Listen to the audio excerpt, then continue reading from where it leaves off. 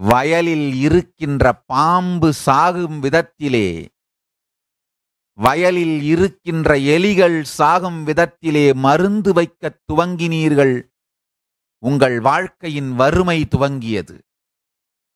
அந்த எலிகள் விநாயகரின் வடிவங்கள் விநாயகரின் வாகனம் அதை கொல்லாதீர்கள் என்று நீங்கள் வாழத் துவங்கியிருந்தால் வாழ்க்கையில் வறுமை வந்திருக்காது.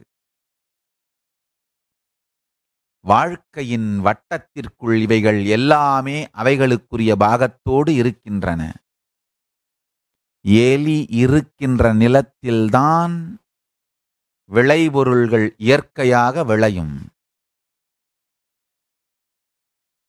காஞ்சி பரமாச்சாரியாருடைய நினைவுகளைப் பற்றிய ஒரு நூலை படித்துக் கொண்டிருந்தேன். எவ்வளவு பெரிய ஞான புருஷர் ஒரு நாள் தன்னை பார்க்க வந்த ஒரு விவசாயியிடம் ஏதோ பழம் வேணும்னு கேட்கிறார் அந்த விவசாயி பறித்ததை எல்லாம் விற்று விட்டிருந்தார் அதனால கிடைக்கவில்லை என்று அங்கு எலி வலையிலே எலி சேர்த்து வைத்திருந்ததெல்லாம் கொடு கொண்டு போய் அவர்கிட்ட கொடுக்கிறாரு. பெருமான் பரமாச்சாரியார் கேட்கிறாரு ஏய் இது பறித்ததா கொறித்ததான்னு?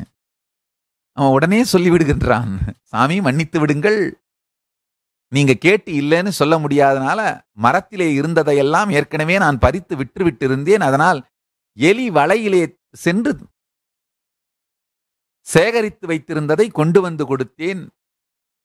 உடனே அவரே நேரே நேராக வந்து அந்த வலையிலேயே மீண்டும் அதை வைத்துவிட்டு பொரியும் வெள்ளத்தையும் சேர்த்து வைத்துவிட்டு வணங்கிவிட்டு செல்லுகின்றார். அவர் சொல்றார் இயற்கை சூழல் இயற்கை சக்கரம் ஒழுங்காக இயங்க வேண்டும்.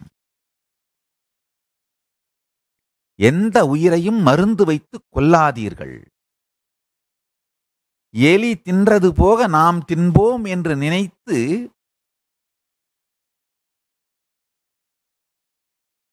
விஷங்களை விஷ மருந்துகளை வைத்து உயிர்களை கொல்லாமல் இருங்கள். சத்தியமாய் சொல்லுகின்றேன் விளைச்சல் ஆயிரம் மடங்கு பொங்கும்.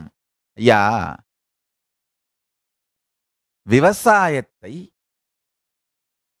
இழிவாக தொடர்ந்து காட்டி சைவ வேளாளர்கள் வாழ்க்கையையே அழித்த சினிமாதான் முதலில் அழிக்கப்பட வேண்டிய விஷக்கிருமி. படிச்சவன் விவசாயம் பண்ணக்கூடாதுன்னு நூறு வருஷமா நம்ம மனசுல பதிய வச்ச படுபாவிகள். சினிமாதாயா சைவ வேளாளர்களுக்கும் வேளாண்மைக்கும் எதிரான முதல் விரோதி.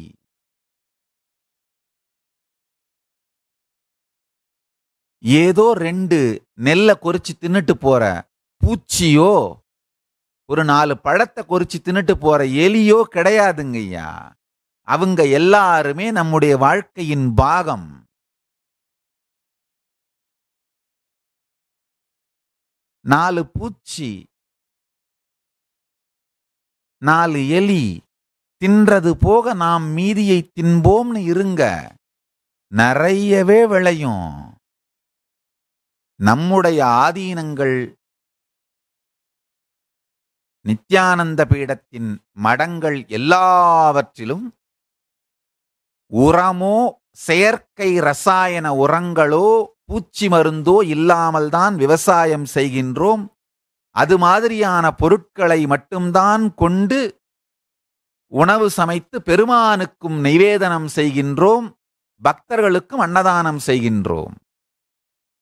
இந்த வாழ்க்கை முறை உலகமெங்கும் பரவ வேண்டும். என் பக்தர்கள் யாரும் எந்த விதமான ரசாயன உரமோ பூச்சி மருந்தோ இல்லாமல் தான் விவசாயம் செய்ய வேண்டும். சைவ முறைப்படிதான் வேளாண்மை செய்ய வேண்டும். அது மாதிரி வேளாண்மை செய்துதான் ஆலயத்திலே பெருமானுக்கு நிவேதனமாக படைக்க வேண்டும். நன்றாக புரிந்து